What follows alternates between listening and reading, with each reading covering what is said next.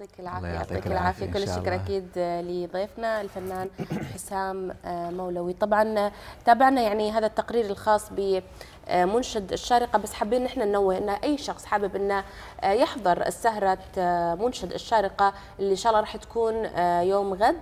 بإمكانهم التوجه للأماكن المخصصة لأنه راح يكون في حافلات لنقل الجمهور. هذه الأماكن راح تكون جزيرة العلم والمباني الحكومية.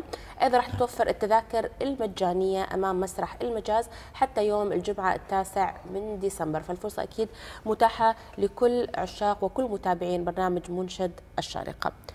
صباح الخير. صباح الخيرات. حياك الله معنا في صباح الشارقة يا رب. صباح الخيرات. الفنان حسام مولوي عازف ساكسفون طبعا. أكيد كان لنا لقاءات سابقه فما راح نسألك عن بداياتك. حابين نتعمق أكثر في هذه الآلة وتأخذنا في عالم الموسيقى. شو تحب بدايه؟ إذا بسألك عن آلة الساكسفون. إذا بقول لك عرف عرفنا أكثر عن هذه الآلة. هلا نحن حكينا بالبداية يعني باللقاءات السابقة إنه آلة الساكسفون هي كثير قريبة من القلب وحكينا إنه هي تعد من الآلات النفخية وفي ناس بيفكروا إنه هي من الآلات النحاسية هي لا لأنه فيها خشب. نعم. وحكينا إنه في ريشة الخشب هي اللي عم تعطي سر الصوت كله نهائيا. بس بالنسبة لآلة الساكسفون نحن من سنة المي... تقريبا من 200 سنة من 1844 وقت ما اخترعوها لتاريخ اللحظة هذا هو شكل الساكسفون ما في أي تغيير. ما في أي تغيير فيه نهائيا. لو حتى تغييرات بسيطة؟ يعني تغييرات بسيطة كثير بس تذكر. إنه ما صار تطوير. وهي ما هي آلة محدثة يعني ما هي منه مخترعه من آلة ثانية.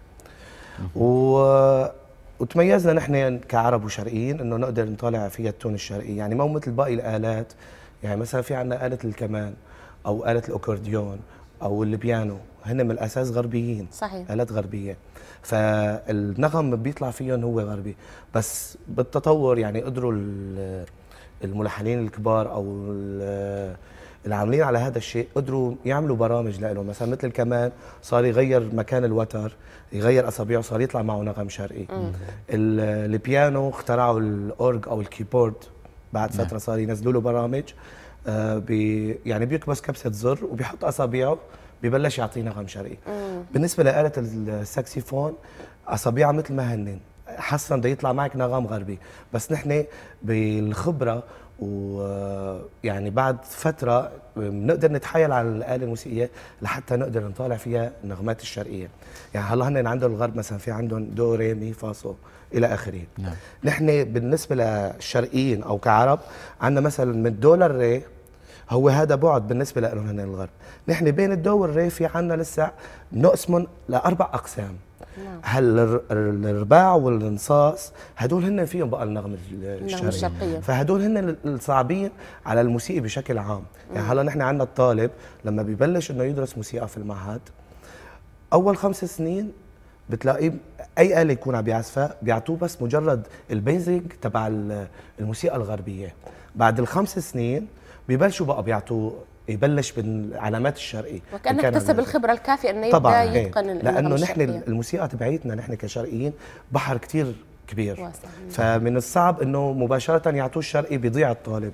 نعم. يعطوه الغربي أول فترة وبعدين ببلشوا بقى يبلش بقى بالعلامات الشرقي نعم. جميل. طيب شو حاب تسمعنا شو عبالكم تسمعوا شيء شرقي كذا.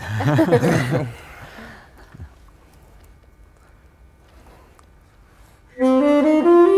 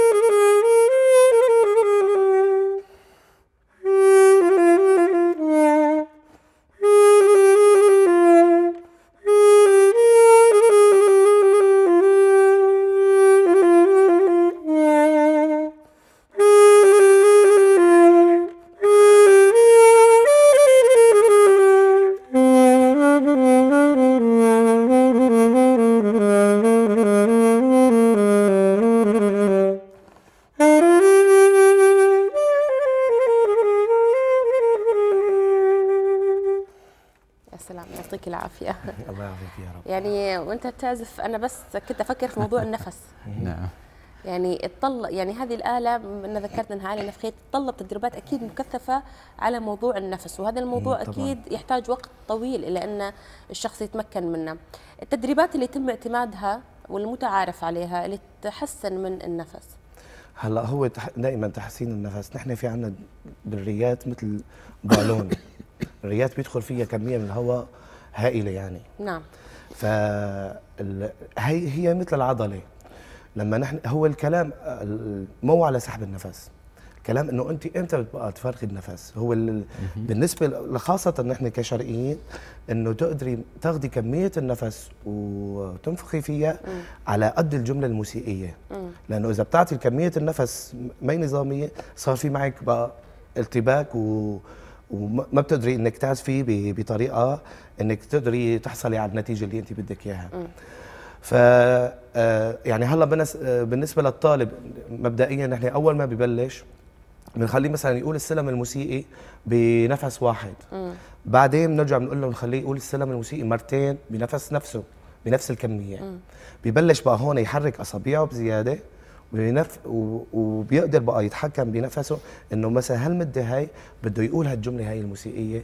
ويقدر آه، يحصل على النتيجة منها كأنه هو قاعد يقول الكلمات كأنه هو قاعد يغني يعني طبعا مثل لا هو نفس الكلام بس نعم. الله هون الضخ إنه أنت لما عم تاخذ نفس مو مثل صحيح. الكلام نعم. بس نفس الطريقة تماما بالضبط. يعني أنت لما عم تقول مثلا آه، جملة فأنت عم تاخذ نفسك لحتى إنه تنهي هي الجملة وبنفس الوقت لازم تكون كثير ريلاكس ومرتاح نفسيا نعم. يعني هلا أي شخص لما أو موظف مثلا مديره حكى معه أي شيء ضايقه بتلاقي دقات قلبك تغيرت بتلاقي صار في عندك انتباه فهذا الشيء كثير بيأثر لأنه مجرد ما إنه يختلف شيء نعم. عندك بتلاقي صرت بقى تاخذ نفس مو منتظم وصرت تنفخ بشكل مو نعم. منتظم التون يختلف آه. طبعا نعم. طبعا ال tone بيختلف نعم طيب إحنا يعني دائما الفقرات الجميلة تنتهي بسرعة. مم. إحنا آه، يعني وصلنا لنهاية هذه الفقرة لكن آه، بنختم معاك بمقطوعة okay. آه، يعني ما بنخليك تطلع كذي لأن فعلا السكسفون مجرد ما تسمع الصوت بغض النظر عن أغنية معينة شرقية أو غربية تهدي الأعصاب هي الاله نعم. كثير كلاسيكية و يعني soft music نعم. على قد ما هي هلا الغرب هن استخدموها لل للجاز وما جاز نعم. وهيك. بس نحن الشرقيين اعتمدنا عليها للموسيقى الهادية أكثر من الغرب نعم. بشكل عام. نعم. طبعا مشاهدينا الكرام كل الشكر والتقدير للفنان حسام مولوي عازف الساكسفون وبننهي فقرتنا مع آه، أخونا حسام. تفضل.